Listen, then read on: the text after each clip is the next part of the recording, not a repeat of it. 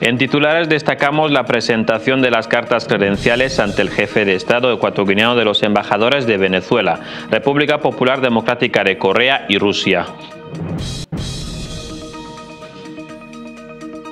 También avanzamos que el Instituto Superior de Telecomunicaciones de Guinea Ecuatorial y la firma china Huawei firman un acuerdo de cooperación en materia de nuevas tecnologías.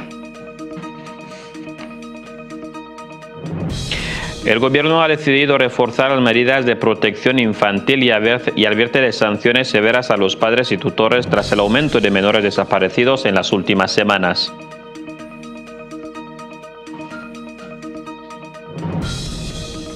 La policía judicial ha presentado a dos jóvenes ecuatorianos que se encuentran por un presunto delito de allanamiento de una vivienda en el barrio de Buena Esperanza 1. Que se dicen que intento de robo porque intenté robar eh, a un señor y no le cogí nada, por eso estoy aquí. Hola, ¿qué tal? Les damos la bienvenida a esta edición de Asonga Noticias. Becoba, buenas noches. Muy buenas noches, Asimi. En unos minutos desarrollamos la noticia que acabamos de avanzar, además del resto de la actualidad. De acuerdo, en los deportes con Maxi, buenas noches. El Zalang Nacional sube en el ranking FIFA. Muy buenas noches, Consuelo Crespín. Así es. El equipo que dirige Juan Michao ya ocupa el puesto 19 en África y el 88 a nivel mundial. Guinea Ecuatorial recupera seis puestos en la estadística de la FIFA. El equipo rojo de Quientema con Angui Fútbol Club ya cuenta con un nuevo técnico. Se trata de Jean Felicianco, quien, quien ha sido presentado en la tarde de este miércoles.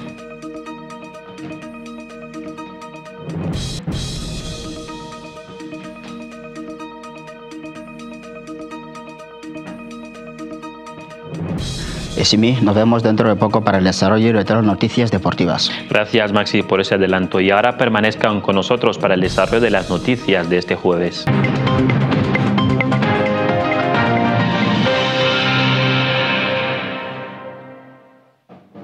El presidente de la República, su excelencia Obiangaman Bazogo, ha recibido las cartas credenciales de los nuevos embajadores de Venezuela, República Popular de Corea y Rusia. Durante la ceremonia celebrada en el Palacio del Pueblo de Malabo, los diplomáticos han reafirmado su compromiso de fortalecer sus relaciones bilaterales en diversas áreas con Guinea Ecuatorial.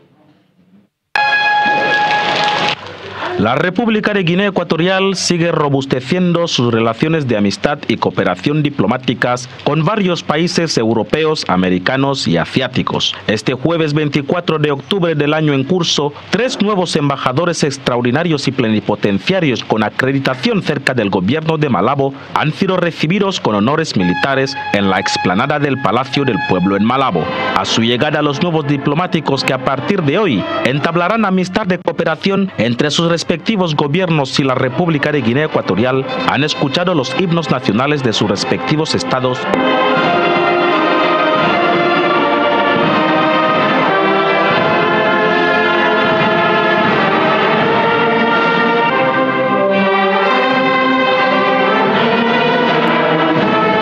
Mediante un caluroso recibimiento que les ha llevado a ser conducidos por los servicios de protocolo de Estado al interior del Palacio del Pueblo de Malabo y en presencia de sus respectivas delegaciones. Ana María Pino Pasquier, profesional de las relaciones internacionales con más de 20 años de experiencia en análisis política internacional y diplomacia ceremonial y protocolo, negociación, cooperación al desarrollo, derechos humanos, con énfasis en el tema de género, mujer y derecho de los migrantes, especialista en objetivos de desarrollo sostenible, además de embajadora extraordinaria y plenipotenciaria de la República Bolivariana de Venezuela en nuestro país, quien al igual que los dos embajadores restantes a citar, Rija Eson, embajador de la República Popular Democrática de Corea, y Karen Chalian, embajador de la Federación de Rusia, este último asume su cargo tras 32 años de vacío diplomático de la Federación Rusa en la República de Guinea Ecuatorial, siendo este jueves 24 de los Corrientes, día en el que la República de Guinea Ecuatorial le recibe oficialmente a través de su excelencia Biangaman Baja, jefe de Estado y de Gobierno, como nuevo embajador de la Federación de Rusia, designado por su excelencia Vladimir Putin tras 32 años de ausencia de un representante ruso en el país. Karen Chalian, de 69 años, es un diplomático experimentado, graduado del Instituto Estatal de Relaciones Internacionales de Moscú en 1977. Ha trabajado en el Ministerio de Relaciones Exteriores de Rusia desde ese año y ha ocupado diversos cargos, incluyendo el de asesor en el Departamento de Organizaciones Internacionales y embajador en Ruanda desde 2018 hasta su recién designación en la República de Guinea Ecuatorial. Durante la ceremonia llevada a cabo en el Palacio del Pueblo en Malabo y que marca un hito histórico en las relaciones bilaterales entre la República de Guinea Ecuatorial y los países con los que mantenemos lazos de amistad y cooperación recíproca, Chalian y sus acompañantes diplomáticos han presentado sus cartas que les acreditan oficialmente como embajadores extraordinarios y plenipotenciarios de sus respectivos estados cerca del gobierno de Malabo. En presencia de algunos miembros del Ejecutivo Nacional y consejeros de la Jefatura de Estado, su excelencia Biangaman Bazoa ha intercambiado las primeras impresiones con los diplomáticos para analizar de manera puntual el estado de las relaciones entre la administración de Malabo con las diferentes capitales de sus países. Todo eso en presencia del ministro de Asuntos Exteriores, Cooperación Internacional y Diáspora, Simeón Oyonezonangue. Resaltar que en uno de los encuentros mantenidos con el jefe de Estado y de Gobierno, tanto el embajador ruso y su excelencia Biangaman Baza han efectuado un breve repaso a la actual situación geopolítica internacional, además de celebrar la inmediata reapertura de la embajada rusa en Malabo. Este paso es visto como un signo de la voluntad compartida de ambas naciones para avanzar en la cooperación y fortalecer los lazos bilaterales. Señalar que parte de estos diplomáticos son residentes, mientras que otros tienen sus sedes diplomáticas fuera del territorio nacional y aparte de la diplomacia, algunas de estas personalidades ya acreditadas en Malabo tienen carreras en diferentes campos científicos técnicos. Están casados y hablan predominadamente el español, portugués, coreano, serbio, bengalí, inglés y francés, además de las lenguas autóctonas de sus respectivos países. Antes de marcharse a sus debidas sedes diplomáticas, cada uno de los tres diplomáticos ya acreditados en el país también han sellado su paso por el Palacio del Pueblo de Malabo, estampando sus rúbricas en el libro de oro del Palacio Presidencial. Y con los acordes del himno nacional se concluye esta ceremonia de gran envergadura a nivel diplomático, subrayada en la presentación de cartas credenciales de los tres nuevos embajadores de la República Boliviana de Venezuela, la República Popular Democrática de Corea y la Federación Rusa con acreditación en nuestro país.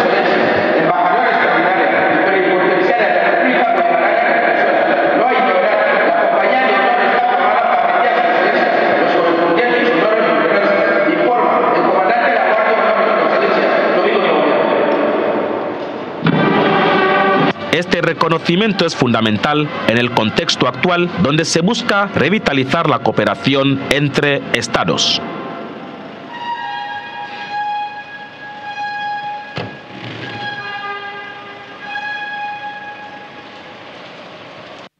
Guinea Ecuatorial ha lanzado un nuevo portal de anticorrupción que permitirá denunciar a los ciudadanos de manera segura, tanto indirecta como indirectamente, cualquier irregularidad en la administración pública ecuatoguineana. Este jueves, el vicepresidente de la República, su excelencia Ngemo Biamangue, ha mantenido un encuentro multisectorial donde se ha analizado esta herramienta diseñada para regular el comportamiento de los funcionarios en la administración en la gestión y administración de los asuntos públicos. Este plan subraya el compromiso del gobierno en la lucha contra la corrupción. Guinea Ecuatorial ya tiene un portal anticorrupción que servirá de apoyo a uno de los planes de su excelencia Teodoro Nimo Mangue. Este portal se ha presentado este jueves en el Palacio del Pueblo en Malabo ante el vicepresidente de la República. La herramienta cuya creación ha sido liderada por el primer ministro del gobierno encargado de la coordinación administrativa, Manuel Sanzue. Fue una idea del vicepresidente ecuatoriano para acabar con las prácticas corruptelas y atropellos a la población. Guinea Ecuatorial entró en una crisis económica en 2013 y desde entonces el gobierno no consigue levantarse de esa caída. Tras múltiples denuncias de desvío de fondos, su excelencia Njemo Biangmangue consideró la necesidad de crear cimientos sólidos para eliminar esta lacra en el país. Por consiguiente, en 2022 se promulgó la ley anticorrupción y este jueves se le ha presentado el portal que viene a sumarse a la causa. El objetivo es implementar una plataforma que promueva la transparencia en la gestión pública, el respeto de las leyes administrativas y los derechos humanos, entidades estatales y privadas. La plataforma tiene un apartado de acceso público en el que el denunciante decidirá si lo hace de forma anónima o deja sus datos como una fuente potencial. Durante la cita, los expertos de CENIAPGE explicaron el funcionamiento del portal, así como una breve descripción de la corrupción y su impacto en la sociedad la misión del portal, sus características, secciones principales, interactividad, accesibilidad, beneficios, colaboraciones, soporte, etc. Por su parte, Yemo Biangmangue, en su constante lucha contra la corrupción y toda forma de injusticia social, subrayó que el gobierno adopte esta estrategia para gestionar la cosa pública en beneficio del pueblo, controlar el respeto de la ley de parte de empresas privadas y vigilar las acciones de la sociedad en general. A pesar de felicitar al grupo de viaje por el excelente trabajo, el político ecuatoriano ha recomendado que se introduzca un apartado para la recepción de contenidos de WhatsApp y números de teléfonos para los que no usan herramientas inteligentes. Al final de las recomendaciones, el miembro del gobierno ha dado luz verde para su puesta en funcionamiento. Como madrina del sector sanitario, la primera dama de la Nación, doña Constancia Mangue de Obiang, ha mantenido un encuentro este jueves con el ministro de Sanidad, Mituando Ayekaba. Durante la reunión se abordaron los avances del plan de mejora de los hospitales y se evaluaron proyectos destinados a optimizar la atención sanitaria en el país.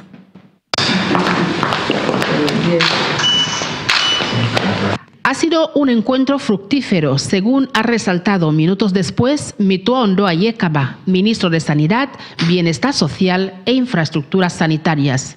La primera dama de la nación, quien es pionera en varios proyectos sanitarios en el país, ha vuelto a manifestar su interés por el sector, destacando la importancia de crear sinergias entre las distintas instituciones sanitarias para optimizar de este modo los recursos y fortalecer aún más la salud pública. En sus orientaciones al ministro de Sanidad, su excelencia doña Constancia Mangue de Obiang ha valorado los esfuerzos del gobierno en cuanto a la puesta en marcha de hospitales en todo el ámbito nacional, dentro del vasto proyecto Salud para Todos. Sin embargo, ha destacado la necesidad de implementar estrategias que eviten las evacuaciones masivas al exterior, sugiriendo un enfoque más personalizado en la atención a la salud de la población. Ella se ha quedado muy satisfecha sobre todo el trabajo que se está haciendo a nivel del plan de mejora urgente de los hospitales. Nos ha dado las orientaciones sobre todo en el aspecto de mantener una higiene eh, constante en esos hospitales, que se establezcan procedimientos que garanticen de que los pacientes estén lo más eh, cuidados posible. Incluso ha ofrecido ciertos, eh, ciertas orientaciones en cuanto cómo podemos mejorar el confort de los pacientes en los hospitales. También hemos hablado en cuanto a cómo podemos potenciar los hospitales, eh, digamos, la atención y acceso de los pacientes a los servicios de tercer y cuarto nivel en el país, eh, mediante eh, el establecimiento de un partenariado que posibilite que los pacientes que no puedan encontrar la solución de sus tratamientos a nivel de los hospitales La Paz o los hospitales regionales o LOERI puedan obtener ese apoyo a nivel de la institución de Guadalupe a fin de evitar lo que son actualmente las evacuaciones. Mituondo Ayekaba ha aprovechado este encuentro para presentar un paquete de propuestas concretas enfocadas en garantizar un sistema de salud más eficiente y accesible para todos. El miembro del gobierno ha reconocido el papel fundamental de su excelencia, doña Constancia Mangueriobian, en cuanto se refiere a los avances del sector que dirige, elogiando en este sentido el importante papel de la red de clínicas Virgen de Guadalupe, una iniciativa privada de la esposa del presidente de la República que en sintonía con las demás instituciones sanitarias, ha puntualizado el miembro del gobierno, puede lograr grandes resultados en la mejora de la salud de la población sabrán, Guadalupe ha venido a suponer un reforzamiento de las atenciones médicas en el país. Hay ciertos servicios de los que cuenta Guadalupe y que los La Paz no tienen actualmente y esa sinergia se debe establecer con claridad y en ese sentido ha, ha recibido con agrado la posibilidad de que el Ministerio esté pensando en un mecanismo que pueda permitir esa buena sintonía y sinergia para referir pacientes interinstitucionalmente. También se ha sabido de este encuentro que el Ministerio de Sanidad podría lanzar en fechas no muy lejanas un proyecto de tratamiento oncológico en el país. Hemos actualizado a la primera dama hasta qué punto estamos actualmente previo a su posible lanzamiento el próximo mes. Los detalles de su lanzamiento y todo lo que vaya a ser la programación se van a comunicar oportunamente.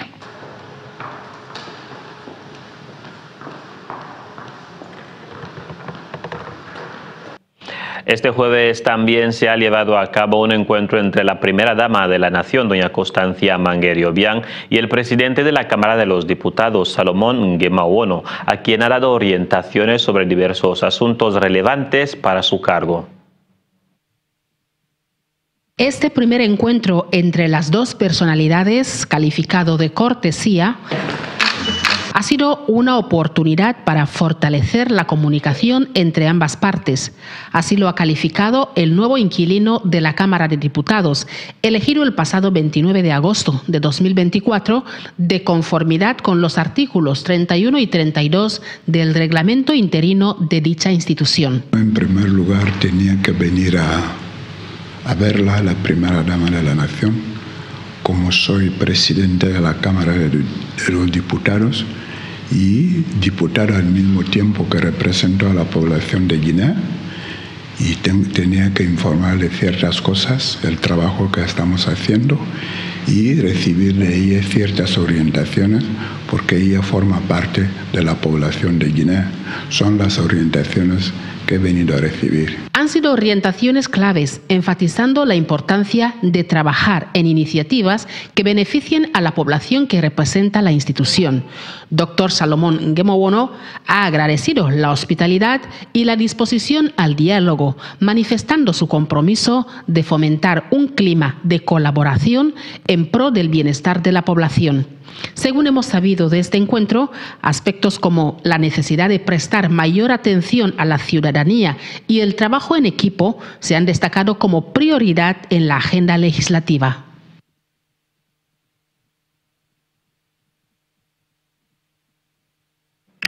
Retomamos con la agenda laboral. Es su excelencia el vicepresidente de la República, Angemo Biamangue, quien ha vuelto a reunirse este jueves con diversos altos funcionarios de los departamentos de Comercio, Tesorería y Hacienda.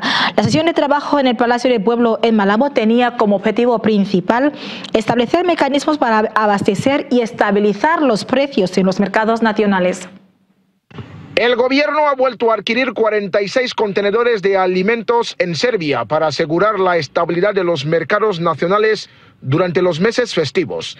Es lo que se ha informado este jueves al promotor de la idea, su excelencia Teodoro Ngemo Biamangue, en una reunión mantenida en el Palacio del Pueblo en Malabo para subsanar las deficiencias observadas en los mercados locales. Este esfuerzo se alinea con el compromiso del gobierno de garantizar la disponibilidad de productos de calidad y a buen precio en todo el país.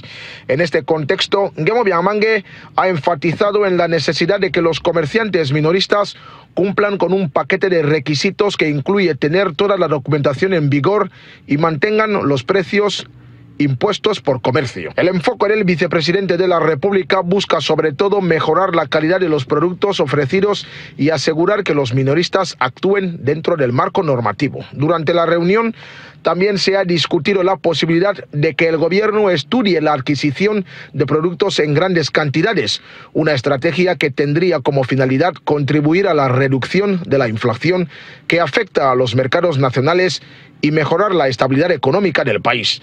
El compromiso del vicepresidente en abordar esos problemas destaca un enfoque proactivo hacia la gestión de la economía y la protección de los consumidores en Guinea Ecuatorial. La implementación efectiva de estas medidas podría tener un impacto significativo en la sostenibilidad de los mercados y el bienestar de la población ecuatoguineana. Centramos nuestra atención en el Senado, donde la Comisión Permanente de Hacienda, Economía, Comercio y Planificación ha iniciado este jueves el análisis del proyecto ley sobre el patrimonio de Estado que busca regular el régimen patrimonial de la Administración Pública, estableciendo directrices para la administración, defensa, control, posesión y conservación de los bienes de Guinea Ecuatorial en conformidad con el artículo 30 de la Ley Fundamental del Estado. El patrimonio del Estado está recogido en los numerales 1 y 5 del artículo 30 y el inciso J del artículo 69 de la Ley Fundamental, que estipulan que el Estado reconoce la propiedad de carácter público y privado y la ley fijará el régimen jurídico de los bienes del dominio público. Este marco legal se orienta a garantizar una adecuada gestión de los bienes estatales y la protección de los derechos de propiedad del Estado. La ley establece que el patrimonio de la Administración General del Estado está constituido por el conjunto de sus bienes y derechos, sin importar su naturaleza ni el título bajo el cual hayan sido adquiridos. Asimismo, señala que la administración de estos bienes debe regirse por los principios de inalienabilidad, inembargabilidad e imprescriptibilidad, asegurando su conservación y uso para el beneficio público. El texto también destaca la necesidad de una gestión diligente de los bienes del Estado, su uso para el servicio público y solo permitiendo excepciones en casos de interés público debidamente justificados. Además, la ley prevé la creación de inventarios o registros para garantizar el control y la identificación adecuada de los bienes, así como la colaboración interinstitucional en su gestión. Este proyecto de ley de gran importancia para la administración pública busca garantizar que los bienes del Estado sean utilizados de manera eficiente y en beneficio de la población. Por otro lado, una delegación del Banco Bank Guinea Ecuatorial, dirigida por su director general adjunto Miguel Baobama Yekaba, ha presentado al Pleno del Senado los nuevos, los nuevos productos que ofrecerá a sus abonados. La exposición la presentaba el director comercial Adolfo Nyemoban, quien ha mostrado a los parlamentarios las ventajas de la disponibilidad inmediata de fondo, la autogestión de las finanzas personales, acceso a un 80% del salario domiciliado de forma anticipada, intereses pagaderos anuales y recapacitales, el complemento perfecto con la pensión de jubilación, la mejor tasa de interés del mercado, el manejo de las tarjetas visas, entre otras. Hasta hoy, en donde prácticamente era insostenible trabajar, pero eh, por el esfuerzo de todo el personal y el apoyo del gobierno hemos podido eh, salvar esas dificultades. Y hoy en día estamos trabajando normalmente como eh, como siempre. Entonces, por eso hemos, hemos estimado acudir aquí hoy para presentarles a uno de los productos sino todos que estamos eh, actualmente ofreciendo a la, a la, población en general y a la clientela del Banco CCIBAN en particular. Por su parte, los senadores han felicitado al equipo por la presentación y les han recomendado, entre otras cuestiones, aumentar a los empleados de la caja para mejorar el funcionamiento a la hora de los cobros de la paga mensual de sus abonados. Recorrido tanto ocurrido y hecho aquí como fuera de aquí somos conscientes de todo ello y el dinamismo. Yo personalmente, repito, vivo la experiencia del actual equipo que se separa. Nuestras felicitaciones por su presencia, nuestras felicitaciones por la ilustración que nos han transmitido y nuestra felicitación porque sigan por este camino. Muchas gracias. Mientras tanto, en la Cámara de los Diputados ha iniciado este jueves el análisis de los proyectos de ley relativos a los presupuestos generales del Estado. El anteproyecto de ley de liquidación de los presupuestos generales del Estado correspondiente al ejercicio 2023, el avance de ejecución de los mismos presupuestos correspondientes al 30 de junio de 2024 y el anteproyecto de ley de presupuestos generales del Estado correspondiente al próximo ejercicio 2025. Antes de iniciar la presentación de, dichas, de dichos anteproyectos o proyectos de leyes, haré un resumen de la evolución macroeconómica, tanto a nivel internacional, regional, como a nivel nacional. De acuerdo con el viceministro de Hacienda, Planificación y Desarrollo Económico, Pedro Abeso Biayán, tras dos años de expansión, la economía nacional ha sufrido una contracción del 5,8% en 2023 debido a la caída de la actividad petrolera, con disminución de la producción de hidrocarburos en un 18,9% de la caída de su precio en los mercados internacionales, lo que condujo a la reducción de los ingresos públicos en un 27,6% respecto a la ejecución de los presupuestos de 2022. A pesar de este escenario, el gobierno incrementó el gasto público en un 12,3%, destacando la inversión pública. Según el miembro del gobierno, la liquidación de los presupuestos del Estado en 2023 se cerró el año con un saldo positivo de 178.600 millones de francos CEFA, tras unos ingresos de 1.623.603 millones. Los gastos del Estado ascendieron a 1.445.003 millones repartidos en 950.000 en gastos corrientes y en 494.955 millones en inversiones. Obiayan también ha informado que la ejecución de las cuentas públicas durante el primer semestre de 2024 se ha recaudado unos 675.922 millones que representa un 88% de las previsiones del semestre, mientras que los gastos ascienden a unos 661.370 millones que representa el 7% por debajo de la ejecución realizada en el mismo periodo del año anterior debido a las medidas de contención adoptadas por el gobierno sobre las prioridades y los objetivos de los presupuestos del 2025, según el ministro, el gobierno prevé recaudar 1.405.969 millones de francos CEFA entre ingresos petroleros y no petroleros, mientras que los gastos estatales ascenderían a 1.440.000 millones, de los que se asignaría unos 440.000 millones a la inversión pública.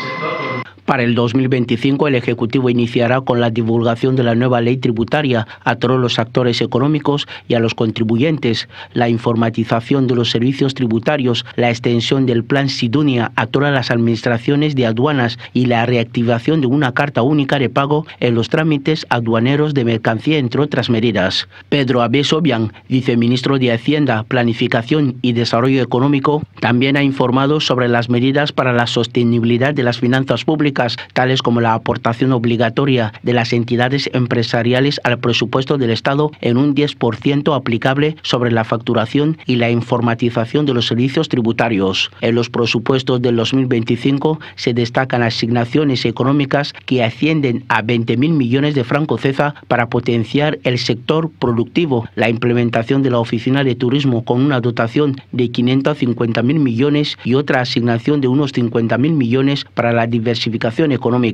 En el sector educativo se prevé una asignación de 20.000 millones para la construcción y rehabilitación de centros en todo el ámbito e igualmente se incrementará la subvención de los centros de formación profesional en unos 3.972 millones. En el sanitario, por su parte, se prevé una asignación de 21.500 millones de francos para el Plan Nacional Sanitario y el funcionamiento de los hospitales. Asimismo, se mantienen los 4.000 millones de los fondos para la lucha contra el VIH-Sida y se reduce el gravamen en conceptos de derechos aduaneros de los bienes y productos de primera necesidad para aliviar el impacto de la carga fiscal de la cesta de la compra de los hogares. El miembro del gobierno ha detallado algunas medidas para la racionalización y contención del gasto público. En sus valoraciones, los honorables han insistido sobre la necesidad de que el gobierno diversifique la economía, la lucha contra la corrupción, la rentabilización de las infraestructuras y mejorar el clima de negocios, entre otras.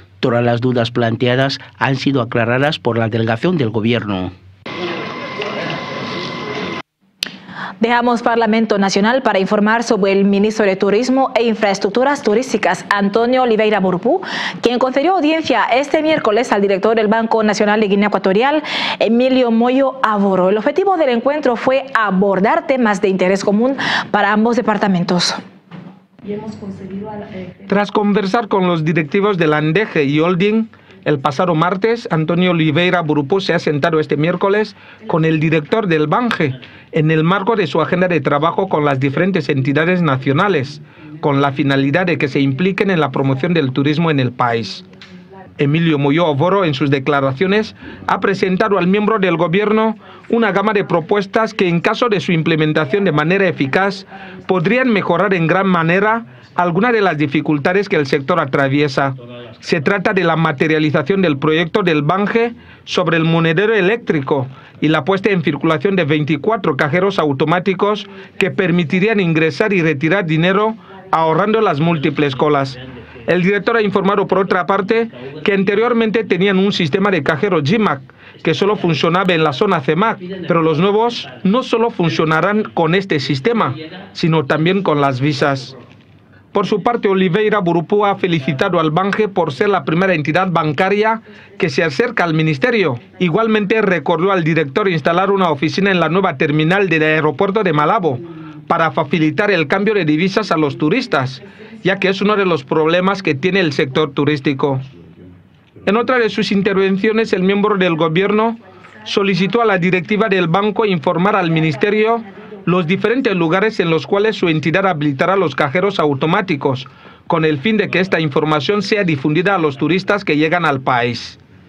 Finalmente, el ministro ha recomendado a la directiva del Bange incluir al Ministerio de Turismo en todos los foros empresariales que organizan para dar mayor visibilidad al atractivo turístico de la República de Guinea Ecuatorial. Usted le llama.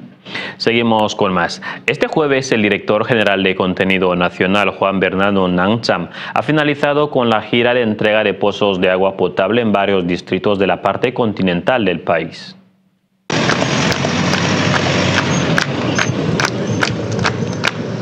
En un emotivo cierre, la última jornada de la gira de inauguración y entrega de pozos de agua potable se ha llevado a cabo en los poblados de Bicuane Sandón, del distrito de Vivellín, Niamoyang del distrito de Bicuamisán y en el poblado de Endón.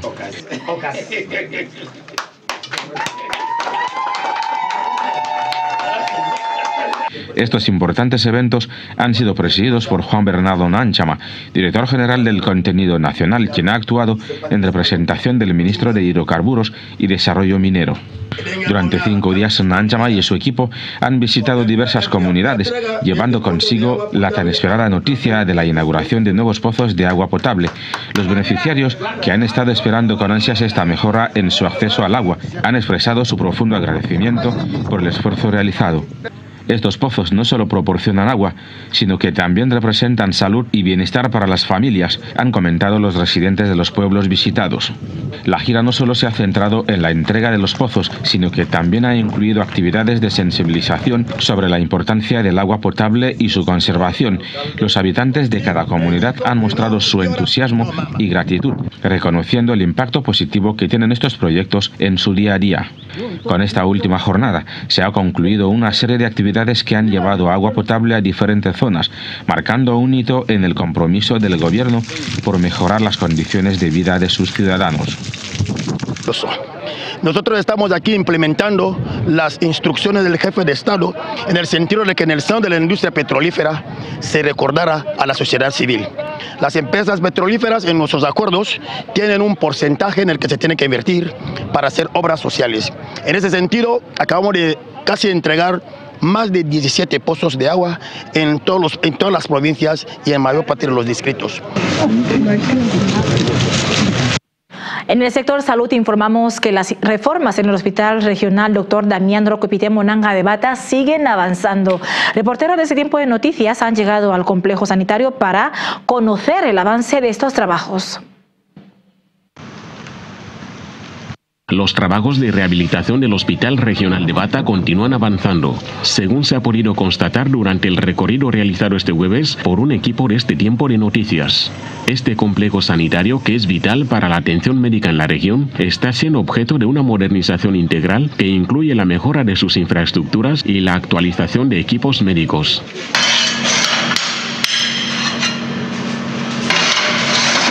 Durante la visita se ha evidenciado el esfuerzo de los trabajadores y la inversión destinada a garantizar que el hospital cumpla con los estándares necesarios para ofrecer una atención de calidad a los pacientes. Se espera que la rehabilitación del hospital se complete en los próximos meses, lo que permitirá a los profesionales de la salud brindar un servicio más eficiente y efectivo. La comunidad ha recibido con optimismo estas mejoras, confiando en que se traducirán en un acceso más adecuado a la atención médica. En otro escenario, la supervisora del pabellón de maternidad del Hospital Regional de Bata, Jacinta Bidanson, ha compartido con Azonga Noticias su perspectiva sobre la importancia del cuidado integral de la mujer durante su periodo de gestación. Jovita Bindan Sonoyan ha sido una voz destacada en la discusión sobre la salud materna, enfatizando la relevancia de brindar una atención integral a las mujeres durante el posparto. Según sus declaraciones, este periodo no solo es crucial para la recuperación física de la madre, sino que también para su bienestar emocional y mental. Hacemos a la entrada cuando llegan, les recibimos. Tenemos una sala específicamente para las mujeres que están en trabajo de parto. Esa, esa sala se llama preoperatoria. se les lleva ahí, de ahí que hacemos, controlamos al feto mirando la frecuencia cardíaca fetal, calculamos su FU, si hay algunas anomalías, si sangra o no, si hay una durante la entrevista, Esonoyan subrayó que el número de nacidos en el último mes ha reflejado una tendencia positiva en la comunidad, pero también hizo hincapié en que la calidad de atención es esencial para garantizar la salud de las madres y los recién nacidos. Cada madre merece un trato digno y respetuoso, especialmente en un momento tan vulnerable como el posparto, afirmó. Y durante ese mes hemos tenido 191 partos normal. Ahora, las cesáreas han sido 21. De estos 21 hay una parte ginecológica dentro. Pues he explicado que puede ser misma o otra cosa. La supervisora destacó que el proceso de atención debe incluir un enfoque multidisciplinario donde enfermeras, médicos trabajan junto para ofrecer el apoyo necesario. Es fundamental que se sientan enchufadas y valoradas. Además, ya mencionó la necesidad de educar a las familias sobre el cuidado postnatal. La información sobre signos de alarma y la importancia de los chequeos médicos regulares puede marcar una diferencia significativa en la vida de las madres y sus bebés. Cuando entran al paritorio, después del paritorio volvemos a hacerles otro tipo de cuidado. Ahí miramos las características de los lóquios. ¿Cómo Los lóquios son las diferentes secreciones que saca la mujer después de la expulsión. Ahí solemos mirar cómo están estos lóquios y les volvemos a dejar en una sala diferente. En definitiva, Sanidad pone de relieve la importancia de una atención integral durante el posparto. A medida que la comunidad continúa creciendo, es esencial que la atención a la salud materna evolucione y se adapte a las necesidades de las mujeres, asegurando que cada nacimiento sea una experiencia positiva y saludable. Cambiamos de contexto. La directiva de la Escuela Infantil Afrom Guinea eh, de Bata se ha reunido recientemente con, las familias de los alumnos beneficiados por las becas otorgadas por la Fundación Constancia Manguerobian. Durante el encuentro, las familias expresaron su agradecimiento a la organización benéfica por el apoyo recibido. Los reunidos eran familias beneficiadas de las becas educativas de la Fundación Constancia Mangenzocom y familias tuteladas por los asuntos sociales. El fundador de la escuela infantil Afrom Guinea les ha querido dar la bienvenida a las instalaciones del centro, que dará no solo educación científica, sino educación en valores humanos, ha confirmado. Las familias han sido seleccionadas de entre muchas más que tampoco pueden hacerse cargo de la escolaridad de sus hijos. Por eso Gonzalo Esónalo, fundador de la escuela, les ha dicho las exigencias del centro, que van desde la puntualidad, higiene de los niños y asistencia en el día a día de los chicos. Quienes no cumplan con el estándar, otra familia más necesitará les reemplazaría. El centro es conocido por dar formaciones a los pequeños incluso sobre modales en la mesa hasta mucho más. Los beneficiados han dicho estar agradecidos de ser parte de esta gran familia educativa. Lo hemos anunciado al inicio del telediario. El Instituto Superior de Telecomunicaciones, Tecnología de la Información y Comunicación de Guinea Ecuatorial y la empresa china Huawei han firmado este miércoles un acuerdo de cooperación en materia de nuevas tecnologías.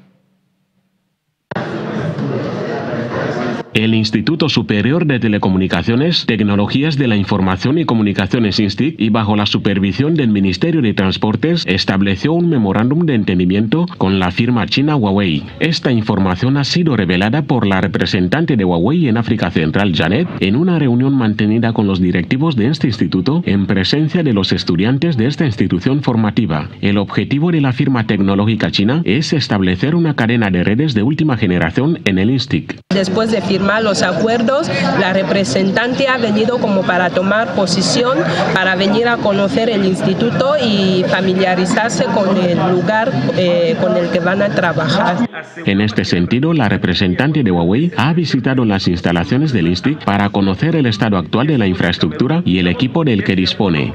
Hechas las comprobaciones, Janet ha felicitado a la directiva del instituto por el buen estado de conservación de sus instalaciones y equipo, afirmando que ahora más que nunca este acuerdo será materializado. Se ha llevado muy bien ya que ella ha venido para explicarnos de qué va eh, Huawei ICT Academy. Eh, no solo es la multinacional de Huawei, sino nosotros vamos a tratar con la parte académica de lo que es eh, Huawei. La representante de Huawei afirmó en conversaciones con la directiva que Guinea Ecuatorial es el tercer país africano en la compañía asiática que entabla nuevos acuerdos de colaboración en el sector tecnológico después de Camerún y Gabón. La directiva del INSTIC ha reafirmado su satisfacción al señalar que este acuerdo es el fruto de los objetivos del gobierno en convertir al INSTIC en una institución de referencia internacional. Para finalizar esta visita, Janet recordó a los estudiantes que en breve van a trabajar con tecnologías de última generación esperando que sepan aprovechar esta oportunidad. Más titulares. La desaparición de menores en el país ha vuelto a acaparar la atención mediática. En los últimos días se han reportado diversos casos a nivel nacional, incluyendo situaciones de abandono y desprotección de niños y adolescentes vuelven a resonar en las calles de Malabo nuevos casos de menores desaparecidos. Estas informaciones no solo se han sabido a través de los medios de comunicación, también por las denuncias de varios ciudadanos en las redes sociales. Diversos casos vuelven a ocupar titulares.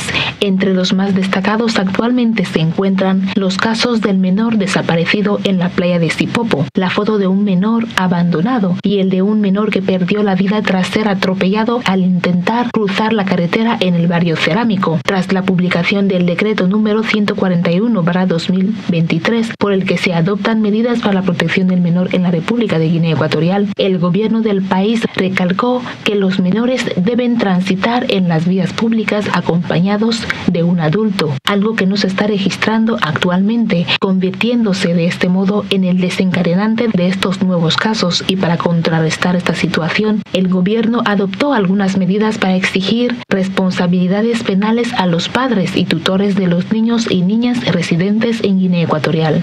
Todos estos casos refuerzan el llamado a los padres de familia, instándoles a vigilar de cerca las actividades de sus hijos, ya que es fundamental que los padres desempeñen un rol activo en el día a día de sus niños para prevenir posibles situaciones de riesgo o incidentes graves.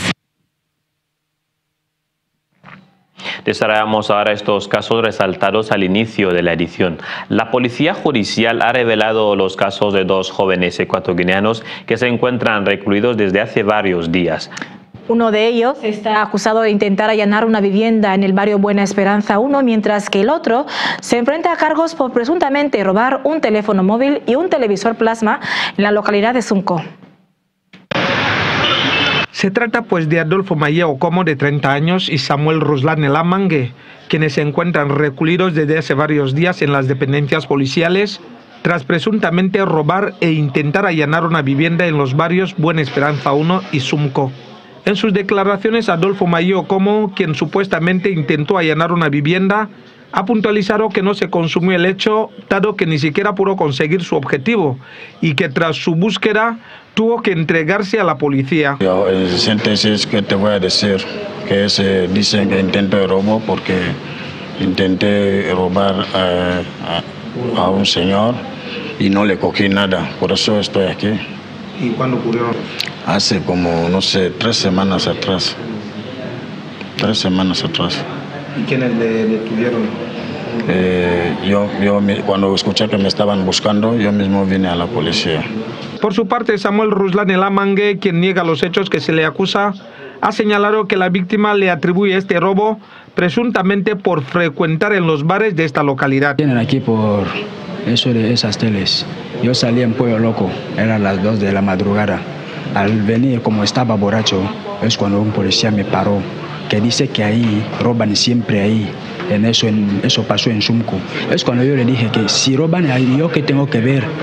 ¿Me entiendes, no? Con la borrachería yo le quise amenazar, él llamó a la población. O sea, el dueño mismo de la tele vive ahí. Es cuando vino. ¿ah? Trajo esa tele esa misma noche. Dijo que yo sí que le robé la tele. Y a pesar que yo no sé nada de la tele, estoy aquí dos semanas y cuatro días. ¿Y en qué parte vive usted? En Shumco también. Dice que porque siempre nos vi ahí fumando cigarrillo, que si no sé, o sea, me está hablando cosas que yo no, ni siquiera sé. Por el momento, los dos supuestos delincuentes se encuentran todavía recluidos, a la espera de que sean trasladados a los órganos judiciales de la capital Malabo.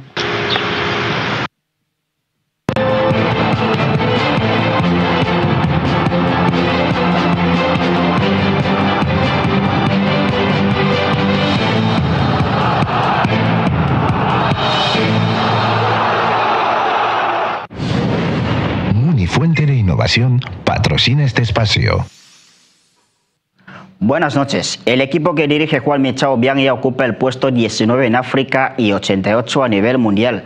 Guinea Ecuatorial recupera los seis puestos en la estadística de la FIFA. Repetimos, seis, seis puestos y no los seis puntos que la Comisión Disciplinaria de la FIFA había restado al país en el mes de junio. Más detalles en el siguiente reportaje buenas noticias en torno a la evolución del Zalang Nacional de Guinea Ecuatorial en el ranking FIFA. El equipo que dirige Kwame Obiang ya ocupa el puesto 19 en el continente africano y se ubica en el 88 a nivel mundial. En esta nueva entrega de ranking FIFA, Guinea Ecuatorial recupera seis puestos e ingresa en el grupo de las selecciones que mayor progreso han tenido en términos de puntos. El relanzamiento del equipo capitaneado por Carlos Acapo Martínez en la estadística de la FIFA se debe a las dos victorias con seguidas frente a Liberia en la tercera y cuarta jornada de las eliminatorias de la Copa de África de 2025.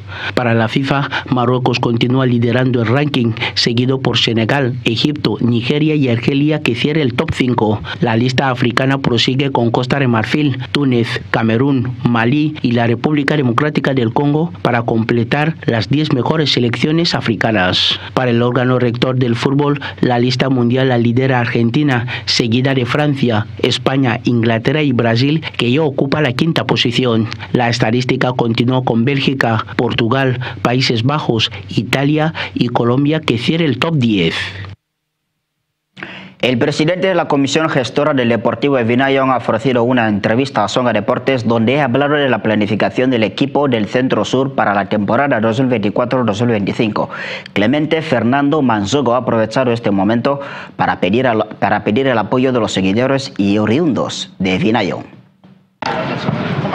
Semanas después de asumir la presidencia de la comisión gestora del Club Deportivo Ebinayon, Clemente Fernando Manzogo habla de la decisión que le obligó a asumir esta responsabilidad. Cuando asumo la presidencia no es porque yo sea el, que más dispone en, en el distrito, sino que lo asumo por la carencia, la crisis que vi que estaba pasando el club y me animé, me animé cuando me dices si puedo, sí puedo, porque eh, ya sabes, ser presidente de, un grupo es tener la capacidad de poder liderar con la intención de salvar el orgullo distrital, Fernando se hizo con el sillón de la presidencia del club, si se tiene en cuenta que tras la dimisión de la junta anterior, peligraba la continuidad del equipo en la máxima competición futbolística del país. Ante las preguntas de los reporteros sobre el porqué de la dimisión de la junta anterior, Clemente Fernando responde. La razón exactamente por la que dimiten no lo sé. A medida que avanzaba la entrevista, tocaba la parte más importante, las dificultades que atraviesa el club. Para ello, Manzogo ha hecho un llamamiento a los dignatarios de Vinayón para que se involucren en las actividades del equipo. Por favor, una vez más, eh, necesitamos de vuestra ayuda, necesitamos de vuestra máxima ayuda, porque el equipo, ya sabéis, el equipo es, el, es, es del distrito, el equipo es de todos, el equipo es del pueblo vuestra ayuda nos hará más, más, fuerte en este nuevo reto que tenemos de, dejar nuestro nombre sea a, lo más alto. Esta entrevista ha tenido lugar en la jornada de este martes en la sede de Asonga Televisión, en Bata. En el tiempo de tocar las puertas. De Centro Sur a Quiendem porque la Conanguilla cuenta con su nuevo técnico. Se trata de Jean Felicien Nko, quien ha sido presentado en la tarde de este miércoles como nuevo entrenador del equipo rojo de Quiendem en un acto que ha contado con la presencia del presidente interino de este club, Vicente John Vesen. Iniciamos este acto para hacer la presentación del nuevo entrenador de la Conanguilla, señor Jean Nko. El acto de firma del nuevo contrato se ha llevado a cabo en el Hotel Panáfrica de Bata, con la presencia del presidente interino del conjunto rojo de Quientem, Vicente B.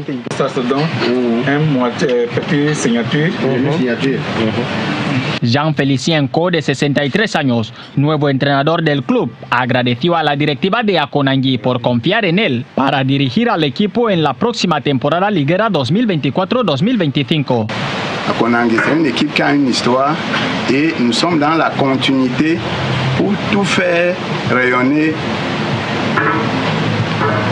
revenir dans la grande équipe qu'on a connue, cette équipe. C'est pour ça qu'ici, je demande d'abord votre soutien, le soutien des médias, le soutien des journalistes sportifs.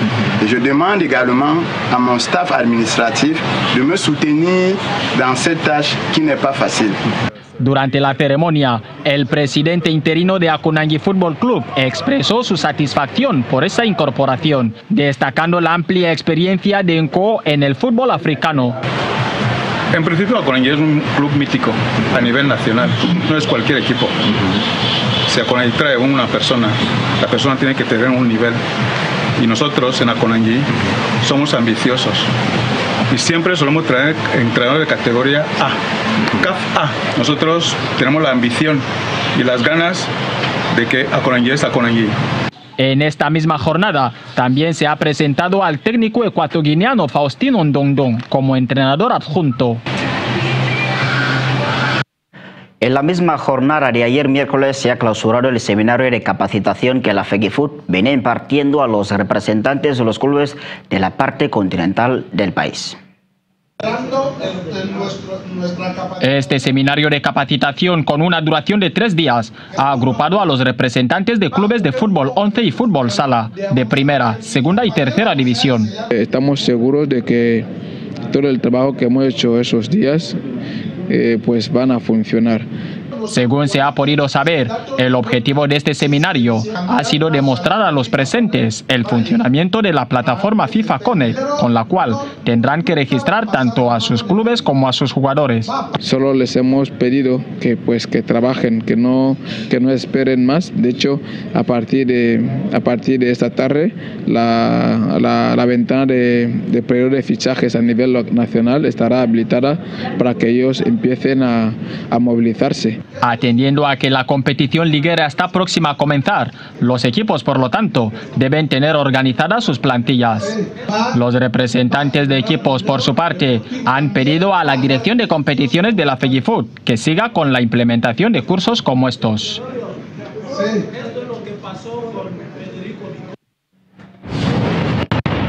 Fuente de Innovación patrocina este espacio.